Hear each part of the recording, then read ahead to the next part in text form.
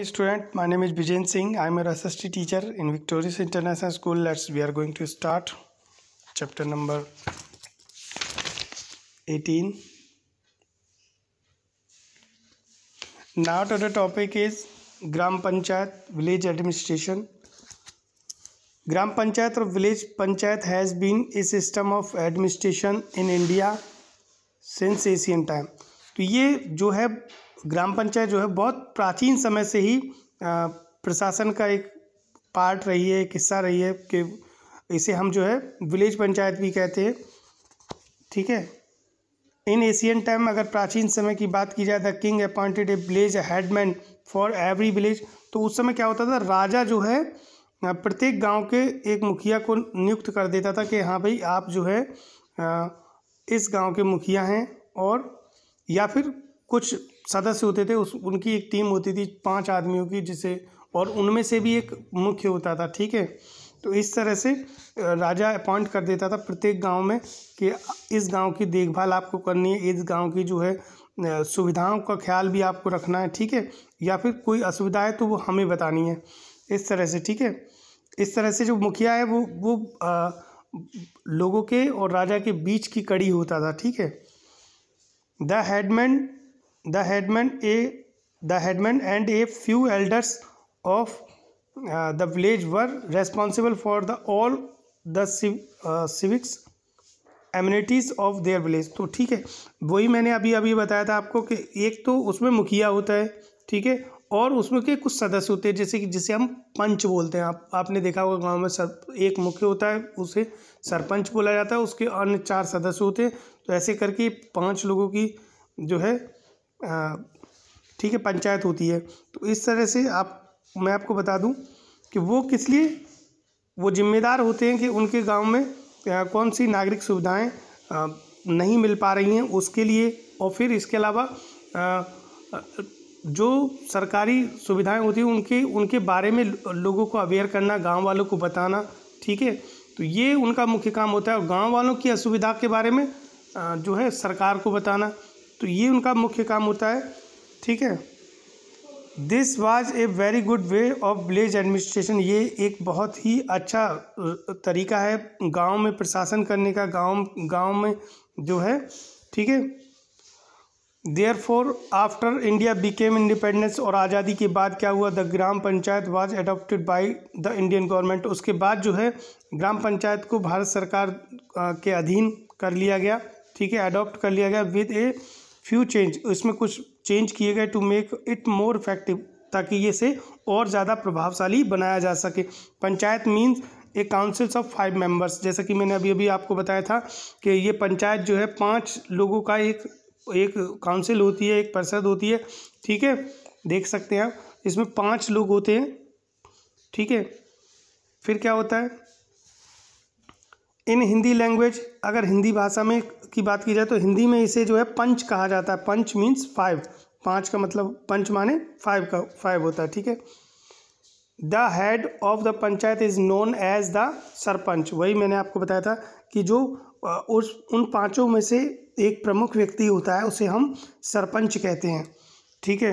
The members of gram panchayat are elected by the peoples of the village who have completed eighteen years of age. तो जो ग्राम पंचायत के जो सदस्य होते हैं, जो मेंबर्स होते हैं, उसमें क्या होता है? उसमें क्या होता है? वही व्यक्ति वोट दे सकता है जिनकी जिनकी उम्र अठारह वर्ष या अठारह वर्ष से, या तो पूरे कर चुका हूँ या फिर अठारह वर्ष से ऊपर के हों, ठीक है? वही ग्राम पंचायत सदस्यों को वोट दे सकता है, ठीक है? The panchayat is elected, the panchayat is elected for a period of five year. तो ये पंचायत जो है, पाँच वर्ष के लिए चुनी जाती है। ठीक है, पंच, या दूसरे शब्दों में पंचायत का जो कार्यकाल होता है, वो पाँच वर्ष का होता है।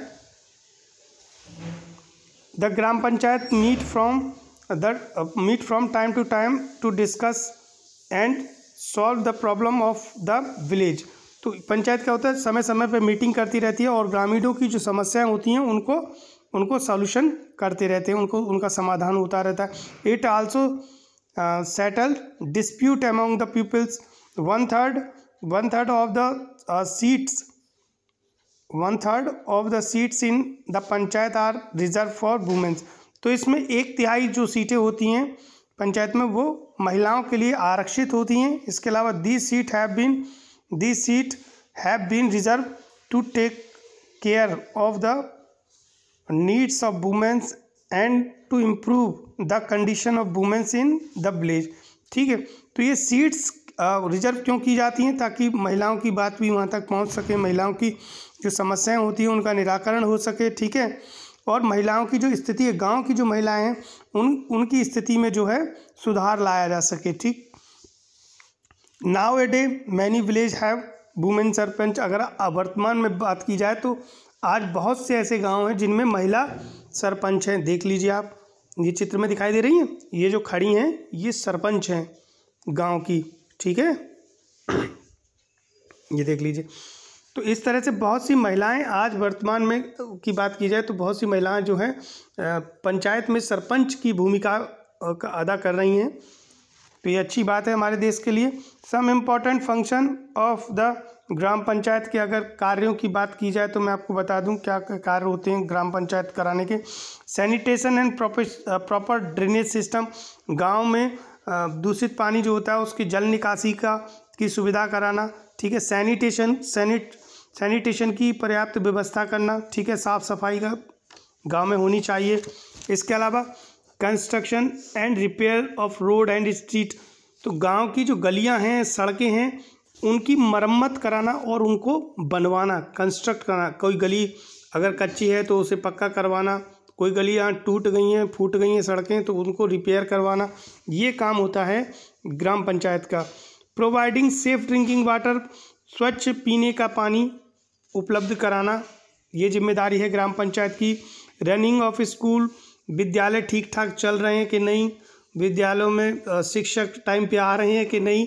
इस बात का भी ख्याल रखना, ग्राम पंचायत का ज़िम्मेदारी होती है। डिगिंग वेल फॉर इरिगेशन ठीक है? गाँव में सिंचाई के लिए ट्यूबवेल लगवाना, पहले कुएँ खोदे जाते थे, कुएँ खुदवाना, ठीक है? अब अब तो ट्यूबवेल लगाए जाते हैं, समर लगाई जाती हैं। तो इस तरह से जो है इरिगेशन सिंचाई की व्यवस्था करना भी जो है पंचायत का ही काम होता है।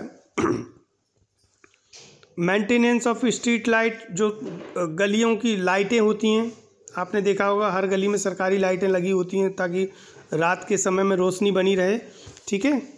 वो लगवाने का काम भी ग्राम पंचायत का होता है। Proper running of health care health centres proper running of health centre तो ये भी ध्यान रखना है कि हमारे गाँव में जो हेल्थ सेंटर है, वो उस ठीक ठाक वर्क कर रहे हैं कि नहीं कर रहे हैं? उन पर डॉक्टर्स या जो वहाँ अपॉइंट किए गए एम्प्लॉय टाइम पे आ रहे हैं कि नहीं आ रहे हैं? इस बात का भी ध्यान रखना। ग्राम पंचायत का काम होता है।